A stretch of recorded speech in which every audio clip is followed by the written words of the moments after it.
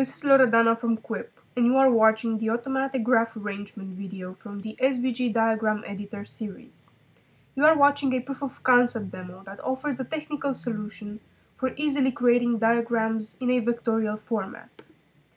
This Kuip plugin can automatically arrange graph nodes and edges. To show you this, I will add another node.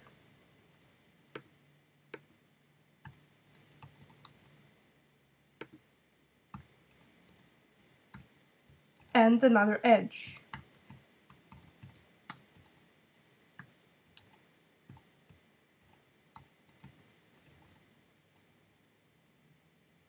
And click Show. It can also be rotated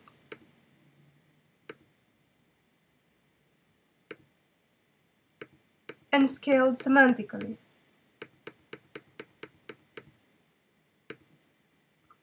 The curved edges make sure that it always looks good, and the output is in pure SVG, making the diagram very easy to use and share.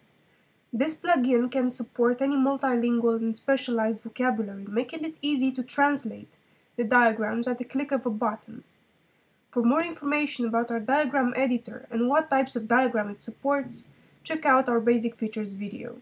For more information about our plugin system and our semantic web tools, feel free to browse for other demos. Thank you for watching.